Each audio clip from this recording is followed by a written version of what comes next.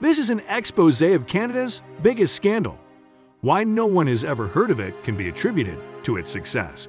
You'll get to see the internal documents and hear audio evidence of when Canada's government ordered Canada Border Services Agency, the Federal Court of Canada, and Canada's Department of Justice to criminally cover up its agents' crimes, subvert democracy, and silence an American, Canadian government corruption whistleblower. J.D. Conner is a U.S. citizen. He also has a background in law, representing people in the underfunded and underserved community. He's a poet and in 2021, a world history making researcher in the field of literature. But 2021 was not the first time JD made history with his writing. On September 10, 2014, JD drafted this straightforward legal document called a Memorandum of Argument to be submitted to the Federal Court of Canada in Vancouver, British Columbia. Within its four pages was everything he needed to prove his point and win his case.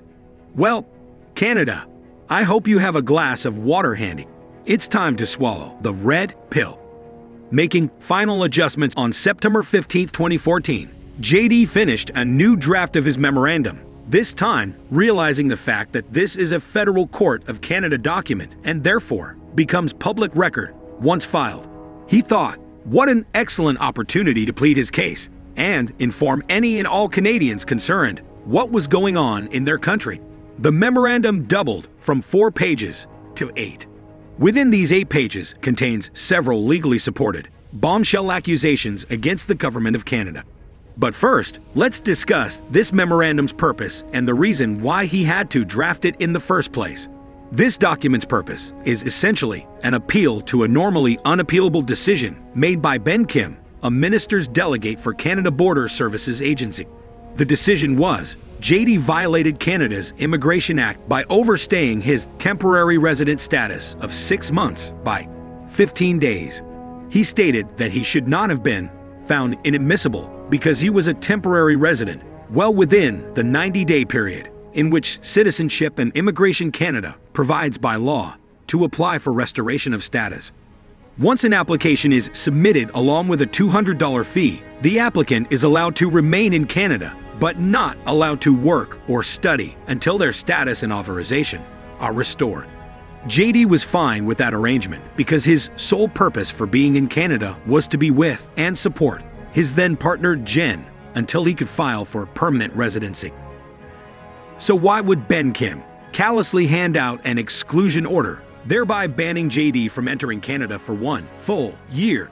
I mean, a minister's delegate of the Government of Canada should know the laws of the Government of Canada, right? This is a very serious and powerful document. These are handed out to more than 10,000 people a year and can remove people who do not have legal status to be in Canada. And consequently, many people who actually do. Once handed this document, most people are removed from Canada by CBSA within hours with no viable means to dispute the accusation or the removal. The only problem with this document and the process is this act does not exist. It's made up. More specifically, it is made up of words within the act, pieced together to make a new, unscrupulously ambiguous law. So it's quite obvious that this subversion of the facts was intentionally drafted to keep someone from knowing that the law may not have supported their removal. Removal for anyone, including college students, people in common law relationships, and any other situation that is not legal grounds for removal, according to the real actual version of the Act.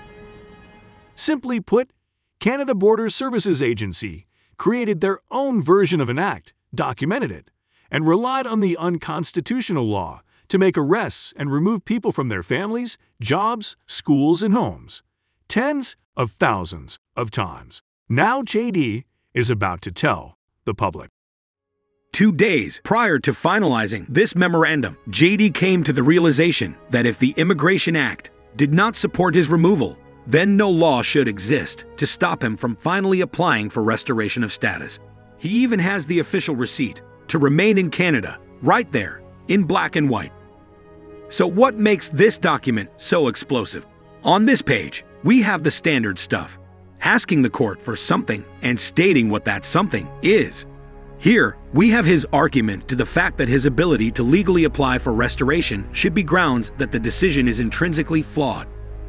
Here, JD goes into his background, explaining that he is familiar with the court, representing tenants in Austin's Justice of the Peace Courts. On this page, JD goes into his wonderfully continuous relationship with Canada Border Services Agency. Like, within the first four months of his temporary residency, he was arrested in a free person orchestrated sting for selling $10 self produced t shirts on Craigslist. This page cites judicial precedents set in Canada of past cases nearly identical to this one. Judicial precedents should set the framework for governmental agencies' future decisions, especially when the suit is against the Government of Canada.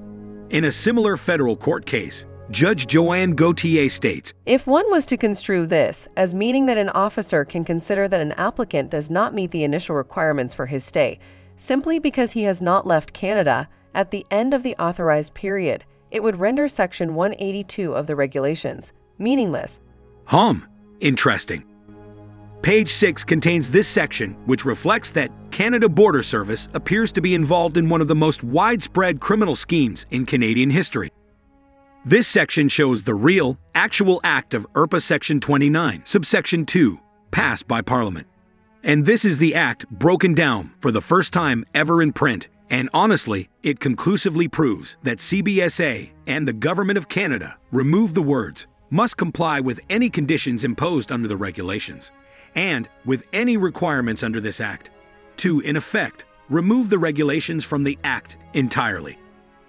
On this page, just the fact that for the multiple times CBSA attempted to prove JD was in commission of some crime, there's irony in that he could be the one person in Canada now accurately pinning CBSA with a crime. Immigration and Refugee Protection Act, Section 129. Every person is guilty of an offense to being an officer or an employee of the Government of Canada knowingly makes or issues any false document or statement. One conviction of this crime can carry a fine of $50,000 and five years in prison. The keyword to establish criminality for this offense is knowingly. Did CBSA know that the document it had its officers issue to tens of thousands was flawed and not representative of the law that it purports gave them authority. Because if they did, that would give the Government of Canada motive to silence dissent. You're about to see and hear actual events that you once thought you'd only experience in fiction. How Canada's government, to protect its near perfect image, will abandon North American democracy for third world domestic terrorism. This memorandum, along with the originating application for leave and judicial review, creates what is called an application record. JD has only a few hours, after some last minute revisions and a late start, to learn the process in which to file his complete application record. He arrives at the Federal Court of Canada and proceeds to the clerk's desk, where a female registrar of the federal court noticed that he was a pro se litigant and did not have legal representation. So, she went to the back and then asked for assistance from a superior by the name of Sandra McPherson.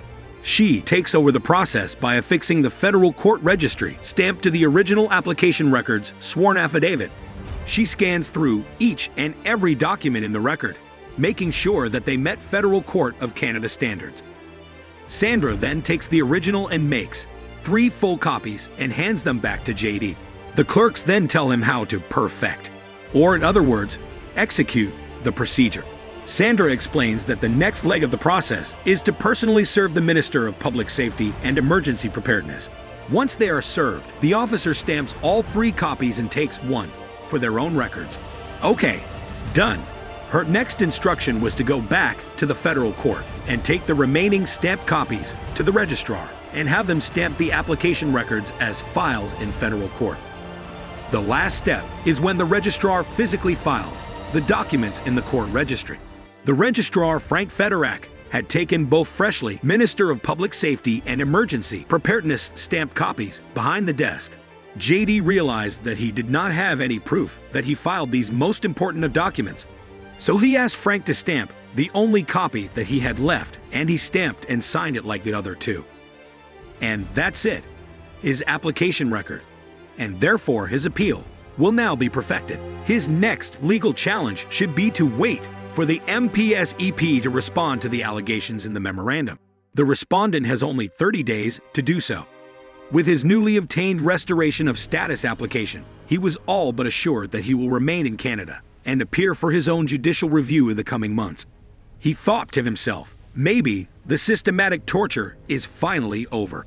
I mean, what was the point? CBSA knew that he was only in the country to be with his Canadian girlfriend. Now, after restoration, his next move was to file for permanent residency. Prior to the restoration, JD did not have a firewall to shield himself from the removal, so he called Rav Chehal, the CBSA officer who was responsible for his removal. She said that she could not lift the removal personally, but insisted that he had to write a letter to Helen Park, who is an attorney for Canada's Department of Justice. So let this letter dated on September 15th, 2014 serve as proof that JD risked the success of his entire judicial review to warn all of Canada about its government's corruption. He told Helen that he filed for restoration. He was firm, but asked CBSA to remain level headed. He told Helen that he does not plan to leave because he can remain in Canada until his restoration application is reviewed. He told her that he knows CBSA officers committed crimes in a rapid immigrant removal scheme. He asked her to look into CBSA's illegal conduct and once again to rein in the aggression. JD let Helen know that he believed that Canadians would not be on board with knowing that their taxes are supporting legally sanctioned corruption and that the international community would avoid the risks CBSA could impose on them as well. Then, in the dead of night, right at the end of writing this letter, JD heard heavy knocking on the back door of his home in Langley, BC. His girlfriend asked who was at the door.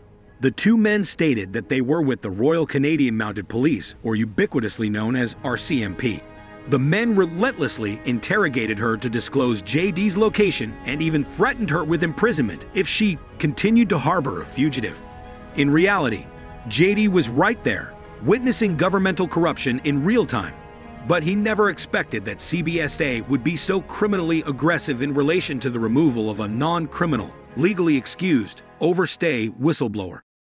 It's now Tuesday, September 16th, 2014 around 1 p.m., barely 24 hours after JD filed his application record. JD and Jen hear knocking throughout the entire one story ranch home, knocking on both doors and windows with male voice chatter and police style radio communication everywhere. Officers were looking through any and every window possible, even the bathroom. She looks through the front door peephole and tells JD that it's CBSA. While they both contemplated waiting until CBSA just went away one officer shouted that he fears for Jen's safety and that he and his small army of about 10 CBSA agents were about to kick in the front door.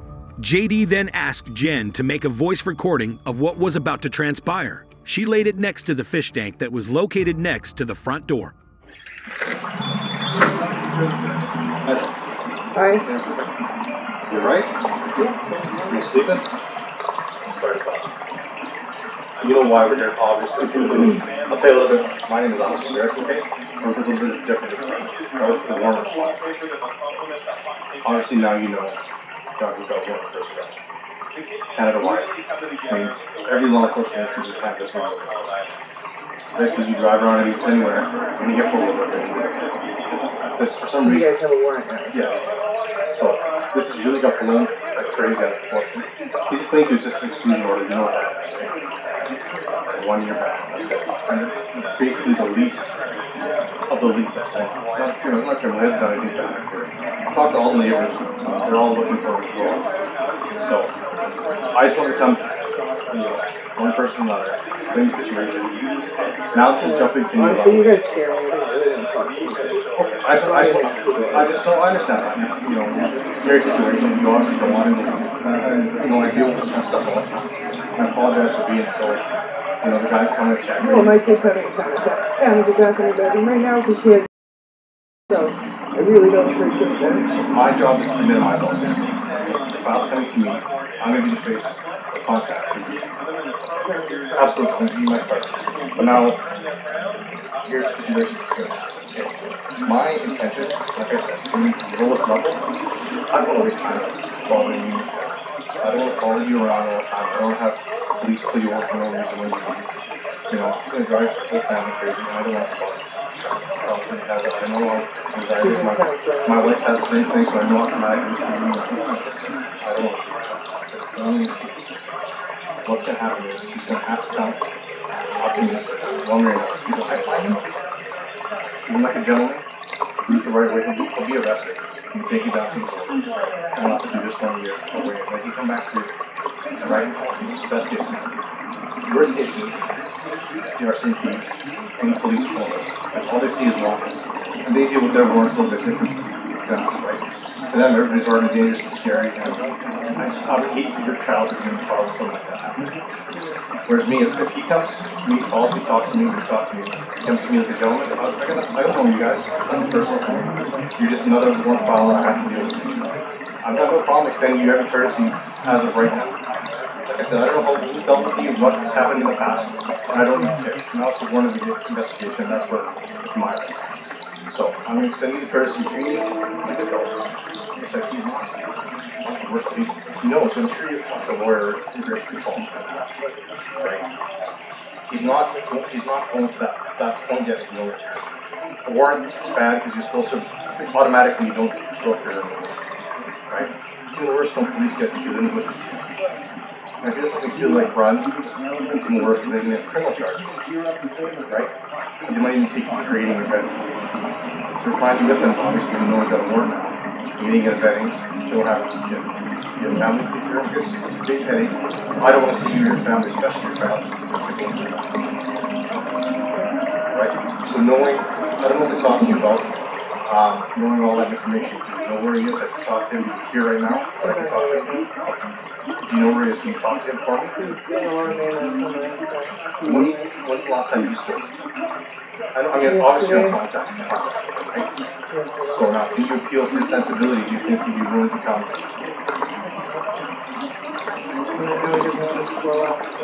It's starting to rain. The, the, warrant was issued this thing this morning, obviously he didn't show up, okay? I can hold on to the, I can not release the hounds for a little while. But my manager's gonna come knock and say, what happened? I came here to talk to you, you seem like a reasonable person, you said you're gonna talk. So that means I'm gonna have be in contact with you, but I don't wanna come banging on your door here like this, I'm not trying to wake Can you you up. just? I- Because that's my what- seriously, I, abs- I think you should don't. Absolutely, I'd rather call you like like an adult. Um, Seven seven eight. Uh, do you guys never called me before, so. It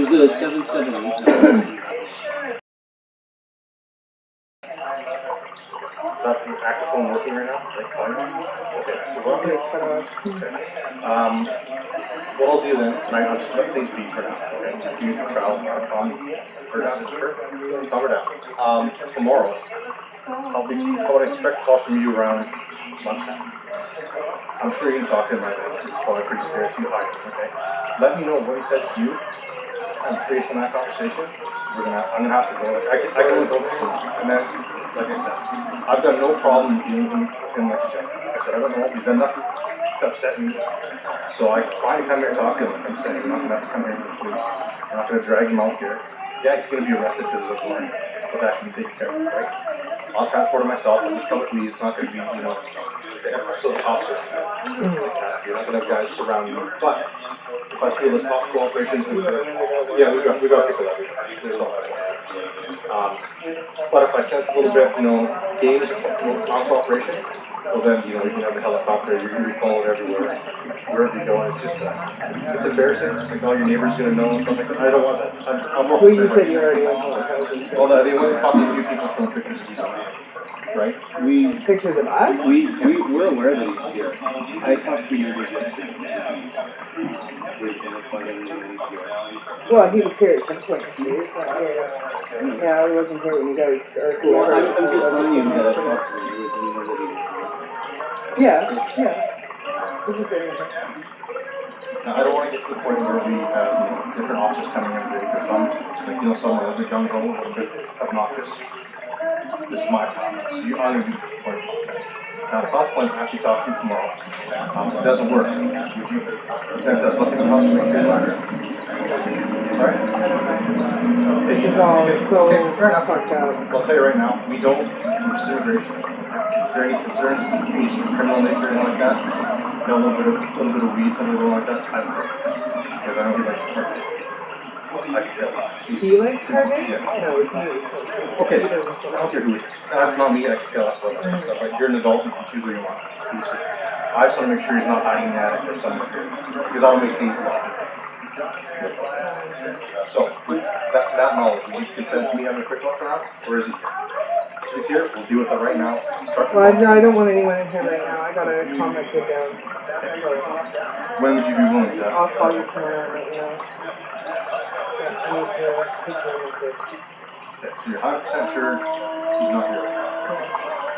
Because this is, this is one chance I'm gonna give you. I'm not gonna say people aren't gonna be watching the for the rest of the night, right? Because I'm not at that point to take over. So, if at some point he leaves someone's house, you know that obviously our, our trust will be broken and then we'll deal with it. So you're hundred percent sure you're telling the truth, he's not here. Right, leave it that, so you can call me by noon tomorrow. Obviously, you can call by noon tomorrow, I'm uh, gonna consider you know, one of the things to do with that. Okay? All right, thank you. Thank you. The multitude of criminal and anti democratic issues in this audio deserves its own video. But before we move on, let's take a few asides from this rare peek into Canada's democracy problem. You heard CBSA admit that they conducted a door to door manhunt to execute a raid associated with a non criminal warrant, which, as CBSA officers stated, was basically the least of the least. You heard CBSA threaten the health and welfare of a child by continuing their unwanted and high pressure presence. I can hold on to the, I can not release the hounds for a little while. But my manager can come knocking and say, what happened? What you might have missed, however, is that CBSA committed multiple instances of a certain crime in the course of their warrantless raid. Ironically, the exact same crime that JD accused CBSA of committing in his memorandum and application record. Even after all the hard evidence we've just presented to the public, someone will think he had a warrant, and there is no way that my government would target one man who claims that he was a government corruption whistleblower. Okay, don't take our word for it. Take Officer Surix, the lead CBSA agent that was the head of the raid. I'll tell you a little bit. My name is Officer Derek, called Jen moments later. He said he would obtain a search warrant if Jen could not produce JD or divulge his whereabouts within the next 15 minutes. She returned the call with recorder on deck and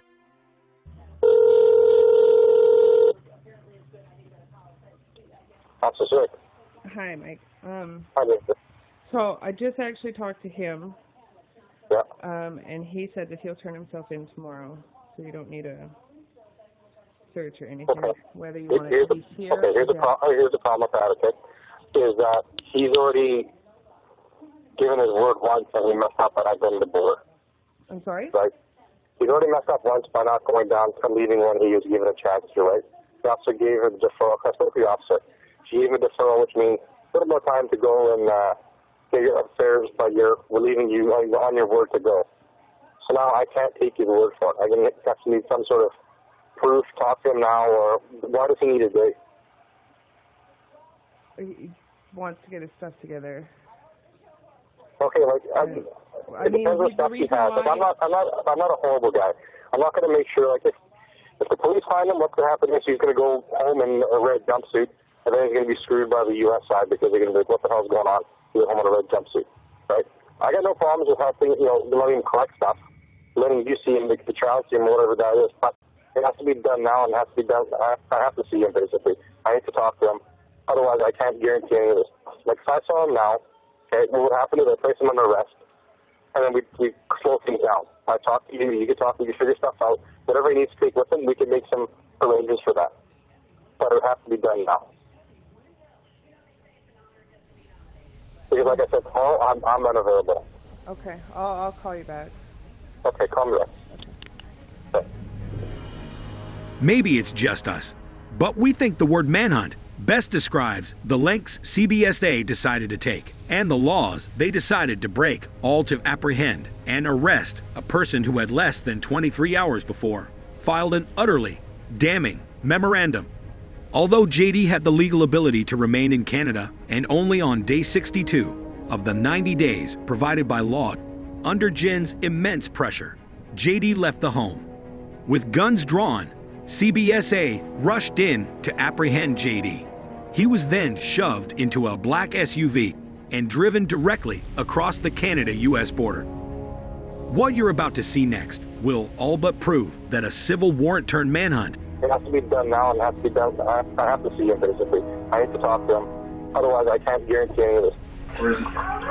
He's here. We'll deal with that right now. Start Well, I know. Talk to all the neighbors. Uh, they're all looking for a and an unmarked black SUV were the government's means to silence dissent. Days after JD was removed from Canada, he returned to his hometown of St. Louis, Missouri. However, he looked forward to his application for leave and judicial review being accepted by the Federal Court of Canada.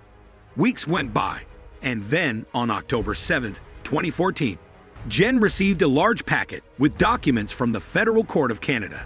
JD asked her to scan the letter, and here's what it said. Please find enclosed your application records, two copies. I tried to reach you by telephone, but to no avail. You need to correct a couple of things within your record and then return them to the court. Number one, your signature is required on your memorandum, page 19, and remove the extra sheets following your memorandum. After the corrections have been completed, kindly forward them back to the registry. Please telephone the registry should you have further questions regarding your record. Yours truly, Sandra McPherson, Registry Officer. From the smallest county courthouses to the nation's federal courts, documents like these would never have left the court because they become a matter of public record once filed. But as they tried to figure out the logistics, JD asked Jen to scan the application records. He seen that Sandra really did send both application records out of the court registry and to JD's home. What he did not see, though, was the federal court registry stamp marked as filed on either record. The area where the stamp should be was white as rice. He was absolutely certain that Frank, the federal court registrar, stamped the application records. And why would anyone want to take one for the team by committing forgery by erasing the stamps? Then a few days later, JD received this email from Allison Brown, another attorney with Canada's Department of So called Justice, which read in part I am counsel for the respondent in the above noted matter. I am in receipt of an unfiled and deficient applicant's record, which was served on my office on September 15, 2014. I understand from my conversation with the federal court registry today that this applicant's record was not accepted for filing.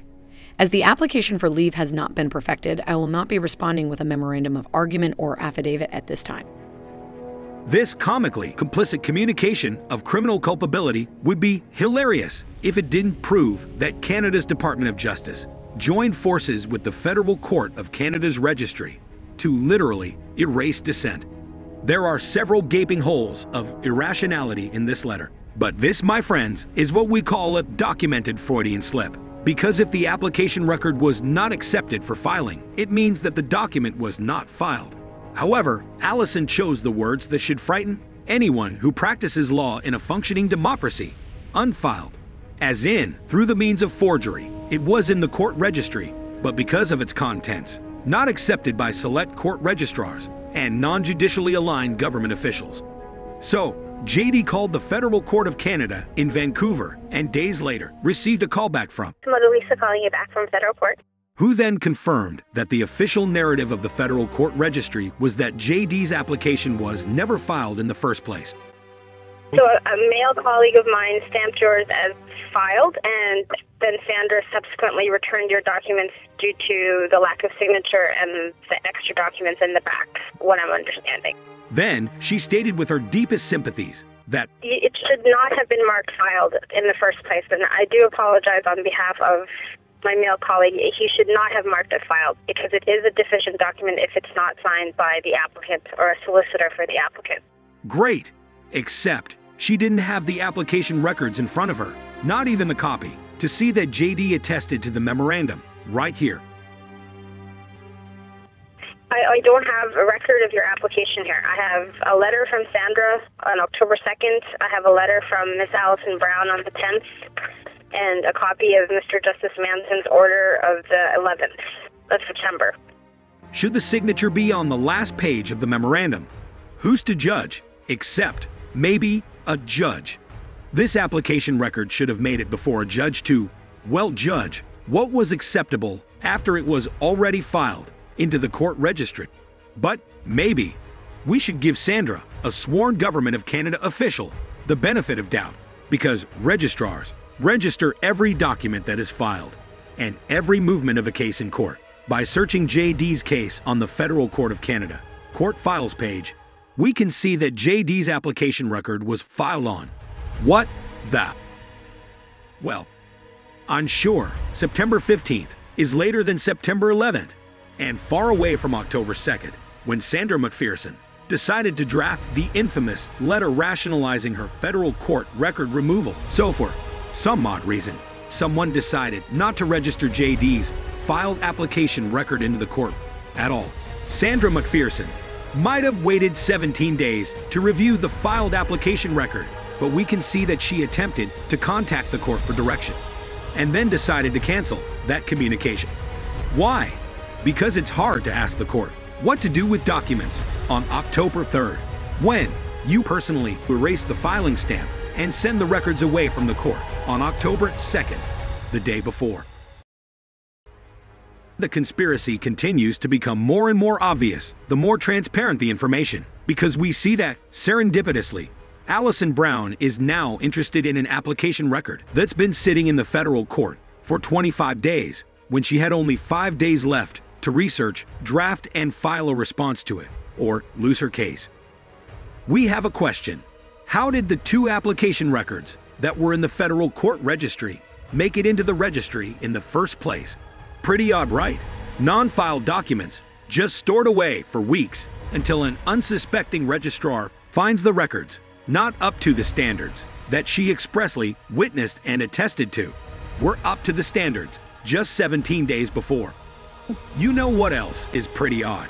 A registrar and an attorney working at the behest of even higher Canadian government officials who thought, since JD left, two application records, when in reality, he was supposed to only leave one, coupled with his removal from Canada, created the perfect opportunity to silence dissent. Yes, this all happened. JD has already sworn, under penalty of perjury, that every material fact and every document used in this video is true and authentic. Authentic, like this original application record that was used as proof that JD filed the other two application records at the same exact time and date, September 15, 2014.